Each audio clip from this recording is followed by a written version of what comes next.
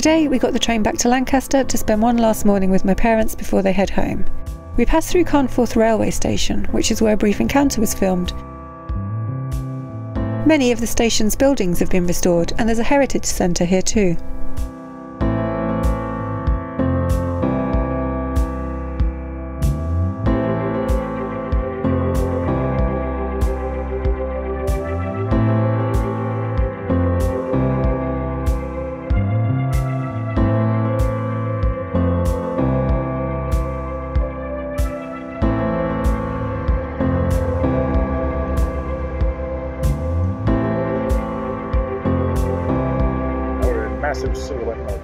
Sun's setting behind us and uh, we keep moving, so the light is not going to be ideal. No. But that's what happens when you uh, start your cruise at 6 pm, Yes. In a sort of unplanned fashion in September. mid September. In September. We've only got an hour of daylight left. Or no, maybe hour and a half, maybe two hours. Mm. Not We've got an hour and a half to get there. So, good. So we were moored in Carnforth, which is really nice. Totally recommend it. Like the moorings don't look that nice, but actually it's a lovely place just to stop. Yeah, just don't go past, um, what's it called? Canal Turn? Yeah, the pub, Yeah, don't go past the Canal Turn pub. if you want to stop there. You'll see it in the video. I had to reverse In the last a video. quite considerable distance. Yeah, you'll have seen it in the last video, but I had to reverse a quite considerable distance to get us back to the moorings there because past there until basically probably the end, um, although there may be some, we might pass some marked moorings further on, but for at least a good distance past there, there is what looks to be mooring space and isn't mooring space. And I made the mistake of not realizing how close that um, mooring was to the station. It is actually really close to the station, but when I did it on my phone, I didn't look at it properly and uh, it looked further away. So Yeah. I should have just said stop here, but never mind. It was an adventure yesterday. It was definitely an adventure. So yeah, I've been without my laptop for nearly a week now, and actually not even not nearly a week, four days, five days, Four days. five days. But yeah, sorry, five days, four nights. and so I'm getting further behind with my uh, editing, and it's a little bit stressful. Um, and we could have gone to Liverpool to pick it up today, but we didn't get the phone till, call till four o'clock, Yeah. so we didn't go to Liverpool to pick it up today. No. So unfortunately, that's where this whole drive comes from. Uh, we have to make it as far as Tewitfield today, so that we can moor up for the night up there, have a little bit of a look around in the morning, turn around and come back through Carnforth and all the way to um, Back to Lancaster, I think. all the way back to Lancaster. Well, we can either get the train. You can either get the train from Carnforth or Lancaster tomorrow. All right. So we got to be good one or the other. Yeah. So we could go as far as Carnforth and just say that's where we'll we'll use as the base, or we go as far as Lancaster. Yeah. Anyway, this whole bit, we this was reversed yesterday. Still going. Anyway, Oh, yeah, we're not even close to where I current. Well, we're getting closer, but anyway, I don't think the sound's going to be very good by the uh, um, engine. So. but now you understand why I'm deaf back here most of the time. And when people yell at me from the shore, "Hi, we like watching your videos," I hear. "Mah, mah, mah, mah." um, just going under a bridge. So I'm sure it's going to be a lovely evening cruise, and fingers crossed we arrive. Fingers crossed you can see something. Oh, there we are. and fingers crossed we uh, find a mooring before Yeah, fingers crossed it's not so dark. I actually get to it field. Full Uh, velocity, All right. six miles an hour straight into the end of the canal. six miles an hour. Four and a half miles an hour straight into the end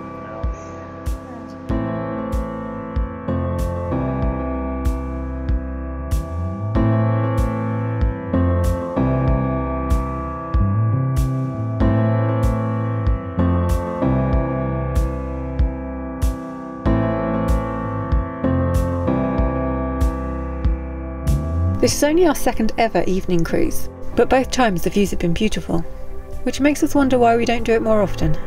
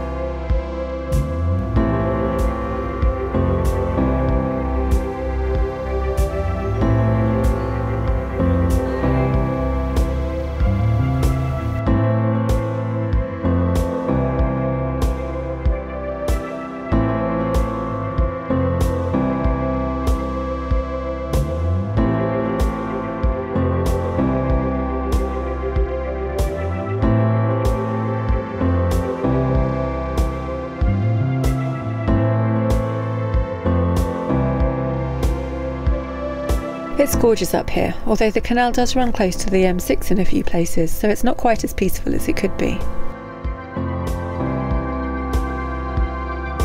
As the sun gets lower in the sky, I start to get anxious about finding a mooring before it gets too dark, especially as there doesn't seem to be too many mooring spots along the towpath.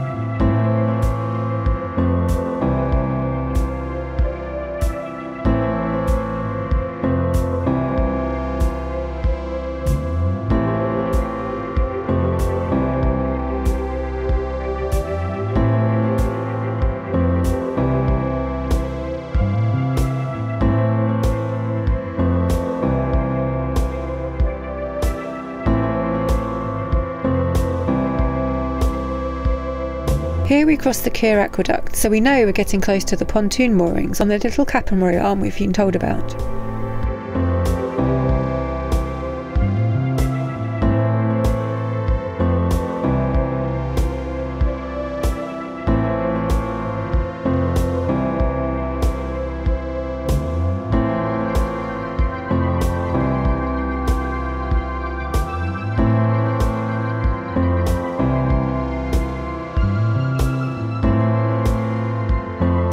We turn down the arm to find it's pretty busy, and there isn't a spot long enough for us to moor in. So instead, we have to reverse back out of the arm and continue further north as darkness descends.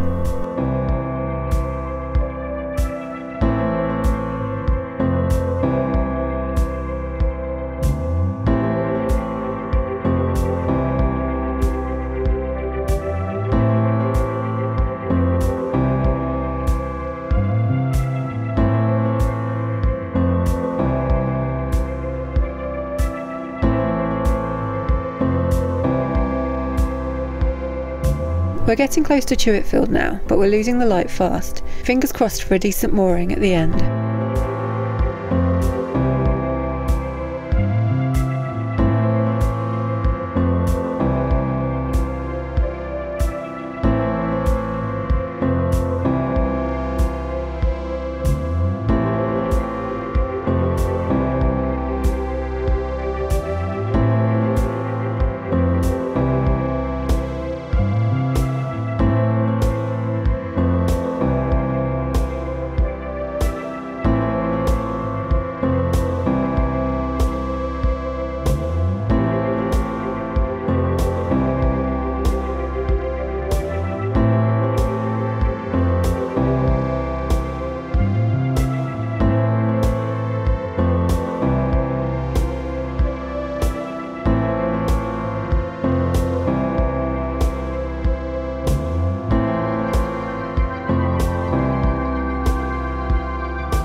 It's far too dark to film now. Our cameras simply won't handle the low light. There are visitor moorings opposite the marina, but they're all too shallow. We can't get the boat in close enough.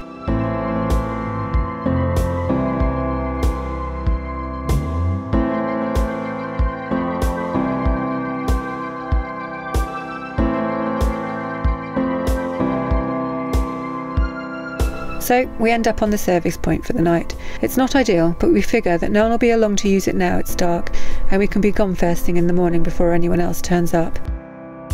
For us, evening cruising is fun, but the fun stops when it gets too dark. So last night we arrived in um, Tewitfield in the dark. in the dark, We made it to the very end. literally, and we moored up on the water point because it was the only place to moor. And section of marked moorings, Opposite the marina. yeah, opposite the marina There's a huge way. section that's completely empty. And it's empty for a reason because it's far too shallow to possibly moor there Can't without being three or four feet out. We had hoped to moor on the arm. Forgotten what it's called. Uh, so have I. Never mind. There's an arm, There's an arm. and we had hoped to moor there, but it was full of boats and gaps not big enough for us. Yeah, it came highly recommended because there's there's some pontoons in there and it's supposed to be quite quiet and, and it looked really nice, but it was just chock full of boats and git gaps. So um, So we ended up at the end. yeah, in the in the like pitch dark, I had the tunnel light running at the last minute just so I could see nothing whatsoever. The tunnel light is useless in nighttime. The evening cruise was nice, but then obviously once sunset happened, it just got so dark. Mm. And if we'd been able to moor on the um, pontoons on the arm, it would have been fine. But So, if anybody on Patreon or on YouTube, uh, you know, we can sort of put a link down below, wants to provide me with night vision goggles um, or forward looking infrared, I'd appreciate it. forward looking. Forward looking infrared camera type thing to put on the front of the boat. And um, Because, Lord, does it go dark. And loads of not loads of people. A few people have said like night cruising's great. You know, it's really good fun. yeah, but when you're on a really deep blue boat, it just disappears. Like, so it's like, where's the canal? Where's the boat? Doesn't matter. Can't And- see either. Cruising might be okay through a through a city where there's like ambient light, or on a really light night where you've got moonlight. But last night wasn't one of those nights. And then mooring is just not fun. Like it's you can't even see the mooring rings on the ground, so it's not for us. So that's the end of the rush up to Tewitfield. So thank you very much for watching. Oh, I remembered something else we need to say. That's not the end of the rush up to Tewitfield. This is another silver propeller. Ah yes, we have captured the 18th. I think so. Yeah. This is our 18th silver propeller uh, location. So yay. um, yeah. So the next one's in Liverpool itself, right? Yeah. Yeah. So we're gonna have 19 there, and then we're not really sure where 20 is, but it's a ways off. so thanks for watching this rush up to Tewitfield video.